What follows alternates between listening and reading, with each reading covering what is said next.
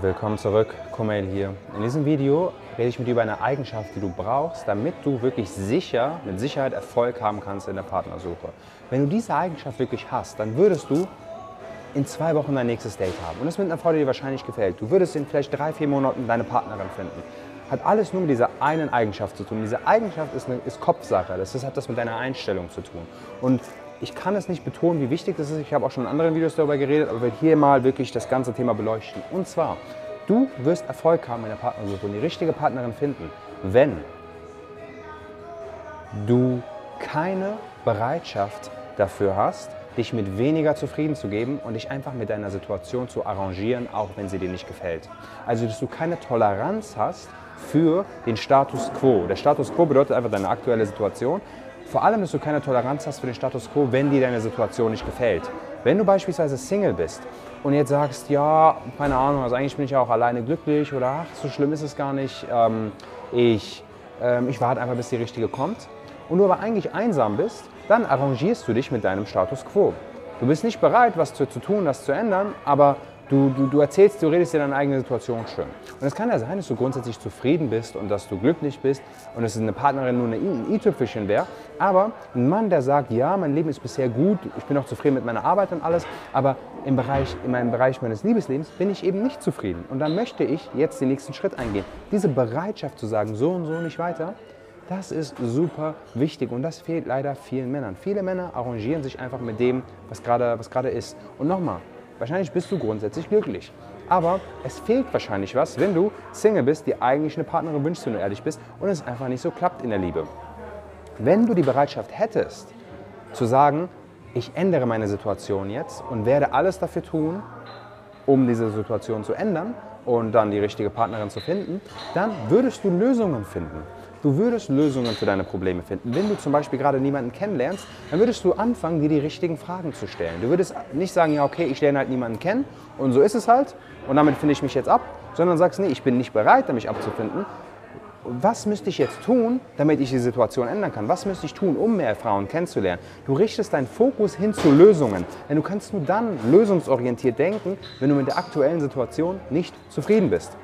Und wenn du dann beispielsweise sagst, okay, ich lerne ab und an ein paar Frauen kennen, aber ich lande immer wieder in der Freundschaftszone oder Frauen verlieren das Interesse an mir nach einem Date. Und dann könnte man jetzt auch sagen, okay, ähm, damit finde ich mich ab und ist wohl mein Schicksal oder keine Ahnung, habe wohl kein Glück in der Liebe. Oder du sagst, nee, das akzeptiere ich nicht und ich werde jetzt anfangen, mir die richtigen Fragen zu stellen, um dann mal bei einem, äh, eine Frau kennenzulernen, bei der, die, bei der der Funke auch überspringt, die mich wiedersehen will, die ähm, auch sexuelles Interesse an mir hat, mit der ich mir auch was vorstellen kann. Dann würdest du dich die Fragen stellen, wie, okay, wie kann ich dafür sorgen? Kann ich das überhaupt beeinflussen, dass eine Frau mich wiedersehen will? Ja, wahrscheinlich schon. Was müsste ich tun, um das zu machen? Worauf kommt es an auf einem Date? Du wirst dann anfangen, lösungsorientierte Fragen zu stellen, die dann deine Situation verbessern. Und das machen die wenigsten Männer einfach, weil sie gemütlich sind mit dem Status quo. Das ist, weil sie sich sagen, ja, okay, so schlimm ist es nicht. Das ist eigentlich einfach nur Faulheit. Und zum einen ist es die Faulheit, die Männer daran hindert und zum anderen ist es auch ein Missverständnis, das sie zu diesem Thema haben. Denn man sagt sich ja, ja okay, aber wenn ich jetzt irgendwie versuche, das irgendwie jemanden aktiv zu suchen oder diese meine, anerkenne, meine Situation ist nicht gut. Ich sage auch vielen Männern immer, nutzt den Schmerz des Alleinseins, um dich zu motivieren. Ich erinnere Männer oft daran, hey, man ist einsam, wenn man Single ist, manchmal, vor allem am Sonntagabend beispielsweise. Man, äh, man fragt sich manchmal, wofür man das Ganze macht, wenn man viel arbeitet, wenn man sein Leben mit niemandem teilen kann. Man fühlt sich komisch, wenn man das dritte Rad am Wagen sind, wenn alle Freunde schon vergeben sind und man selbst noch Single ist. Das sind alles unangenehme Situationen. Und was ich Männern sage ist, hier, nutzt doch mal diesen Schmerz, toleriere das nicht mehr und nutzt das als Motor, um voranzukommen. Und dann würden Männer sagen, ja, aber ich will ja auch nicht so verzweifelt auf der Partnersuche wirken. So rumrennen, so von wegen, ah, ich halte meine Situation nicht aus als Single, jetzt muss ich unbedingt jemanden finden. Viele Männer sagen ja, aber das wirkt doch bedürftig oder verzweifelt. Und das ist falsch. Das ist einfach falsch.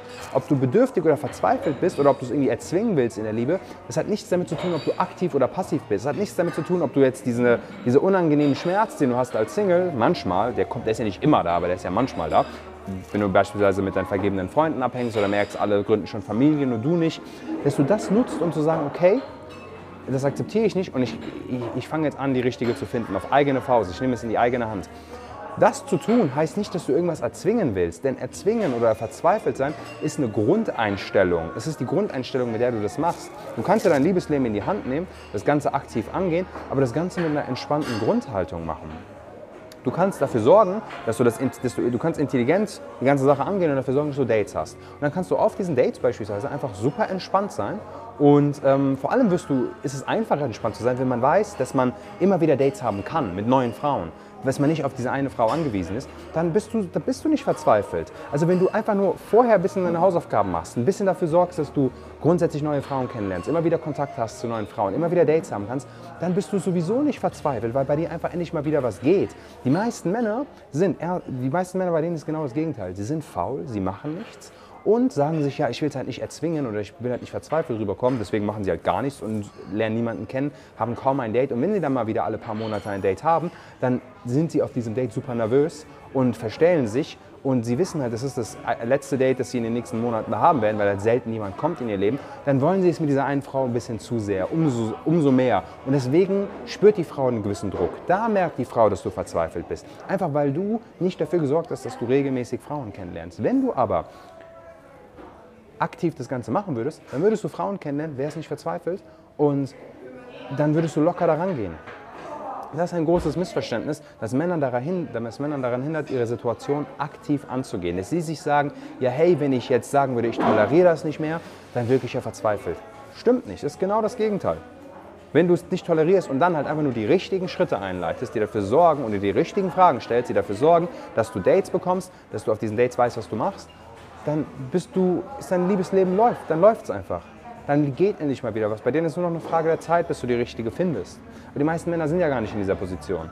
Ein anderer Grund, warum auch Männer sich erzählen, ähm, warum Männer diesen Gedanken so von wegen, hey, ich nehme das Ganze aktiv an oder ich arbeite jetzt mal an mir, um die richtige zu finden, warum sie diesen Gedanken nicht so gut finden, ist, weil sie sich ja auch sagen, ja, bei meinem Umfeld haben es ja auch alle anderen geschafft und die haben wahrscheinlich auch nicht an sich gearbeitet. Die meisten meiner Kumpels sind vergeben. Ich kenne teilweise Freunde, ich habe einen Kumpel, der ist, der, ist ein absoluter Vollidiot und auch er hat es geschafft, eine Freundin zu finden.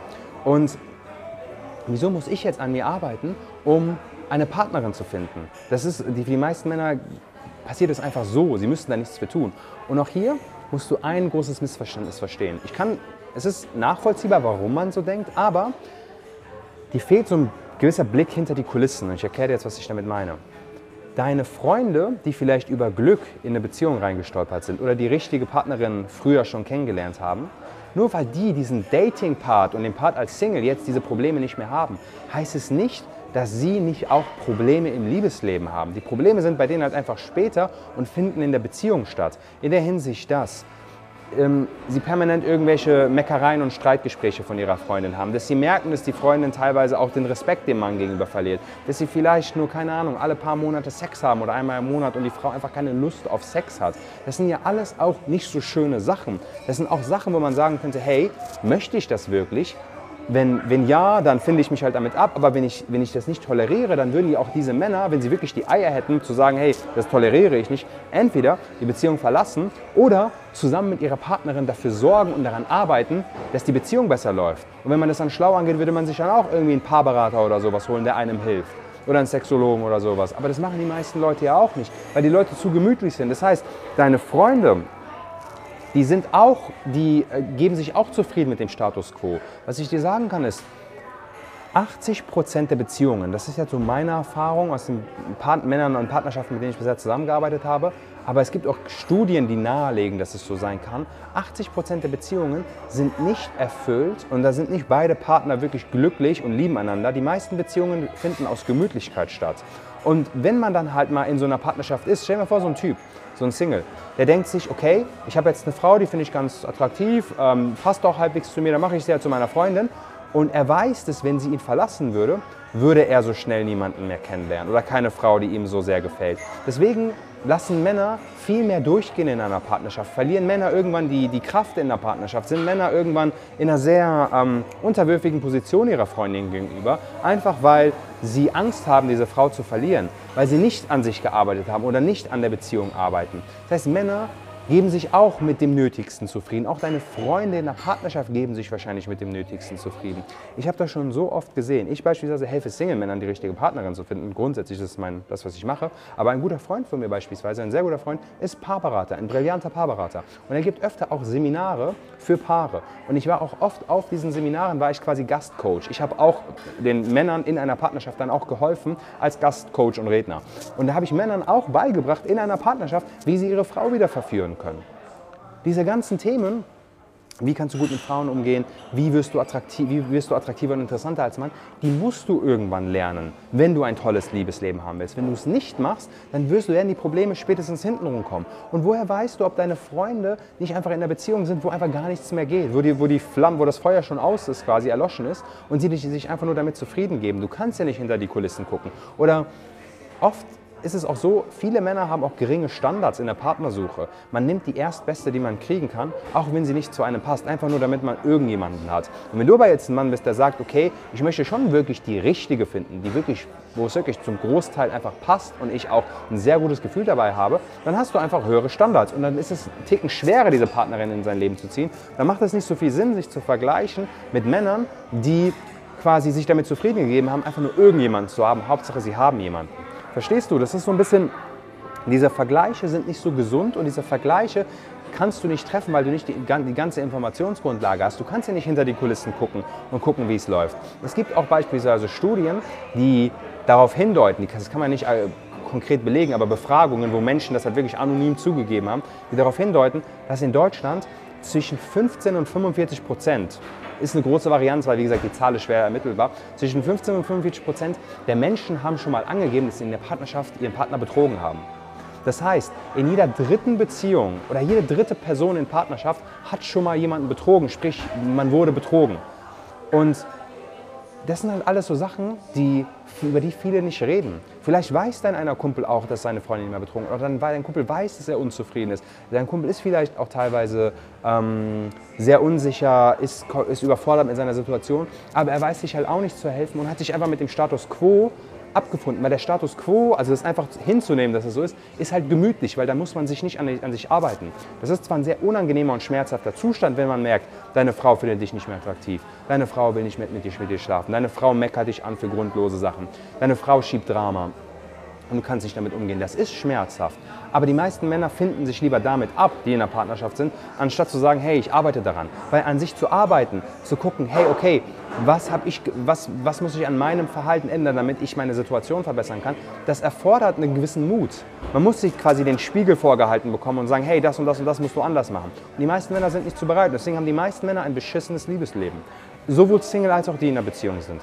Ich kenne kaum einen Mann, der wirklich ein geiles Liebesleben hat, als Single erfolgreich war, erfüllt ist in seiner Partnerschaft und nicht an sich gearbeitet hat. Ich kenne nur Menschen, die an sich arbeiten mussten, um dann wirklich komplett erfüllt zu sein. Denn wenn du wirklich nur auf, den Zufall wartest oder halt nichts für dein, für dein Liebesglück tust oder für deine Erfüllung im Leben, dann wirst du irgendwann an Grenzen stoßen. Du hast vielleicht Glück als Single oder vielleicht hast du auch Glück in den ersten drei Jahren deiner Partnerschaft, wo du noch in dieser Honeymoon-Verliebtheitsphase bist. Aber dann fangen die Probleme halt an, wenn du dann Kinder bekommst. Dann verliert deine Frau das Interesse oder du verlierst das Interesse an deiner Frau und du weißt halt nicht, wie du mit diesen Sachen umgehen kannst.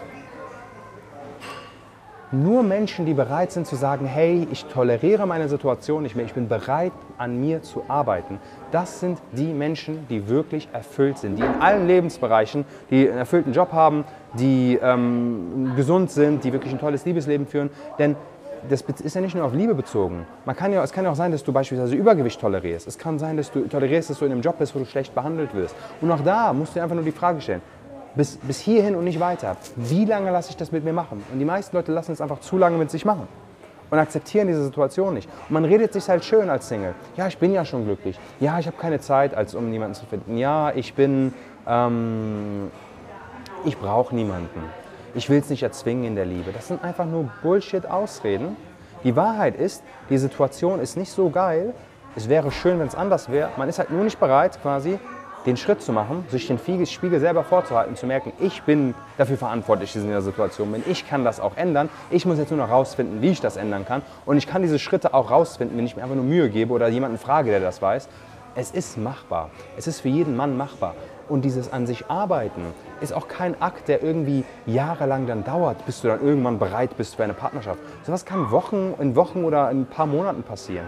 Selbst wenn du super schüchtern bist, keine Erfahrung mit Frauen hast und einfach nicht weißt, was du machst, du kannst dir die Informationen ja holen.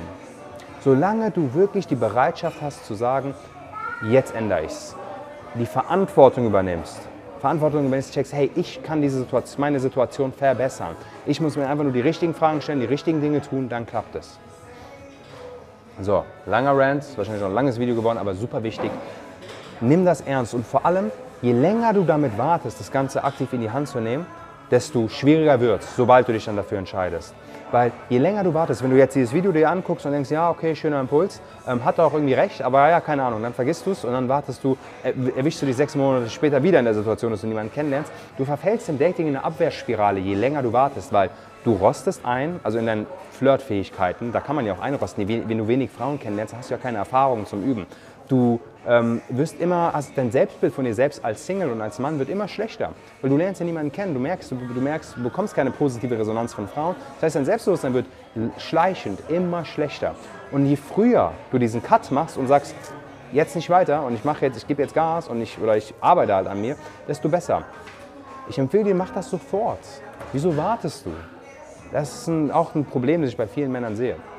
Und wenn du jetzt sagst, okay, ich möchte das mal in die eigene Hand nehmen. Ich möchte herausfinden, was sind die Sachen, die ich, die Sachen, die ich tun kann in meiner Situation, dafür zu sorgen, dass bei mir was geht in der Liebe, dass ich Dates habe, dass ich Frauen kennenlerne und dann die richtige finde. Wenn du das lernen möchtest, dann kannst du mal dich für ein kostenloses Beratungsgespräch bewerben. Den Link findest du unter diesem Video, in der Videobeschreibung, ganz oben.